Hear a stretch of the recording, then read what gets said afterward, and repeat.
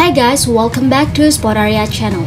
So today in this video, I'm gonna show you how to change refresh rate in Samsung A33 5G. But before you continue this video, as always, I hope you like, comment, and subscribe to support this channel. And don't forget to hit the notifications bell. So without any further ado, let's get started. So guys, firstly, here you have to go to the settings apps on your phone. Right here, I'm gonna open mine and then in the settings page you will see the display options. Just go ahead. Go ahead to the motion smoothness right here. I'm gonna tap on it to open it.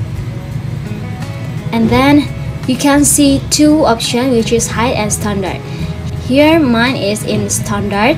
So if you want to change it you just have tap on the high option which is in this high option. You will consume more battery power so in this high option as you can see and as you can read right here get another animation and scrolling with a 19 Hz screen refresh rate. So you just have to change it to the high or the standard. It is only two options. So I'm gonna choose the high one right now and then here you can see the play button. Just tap on it. And yeah it's already changed right now so yeah guys just it. I think it's enough. Thanks for watching this video. I hope this video will help you. Don't forget to leave your comment in the column below. I'll see you soon on the next one and good luck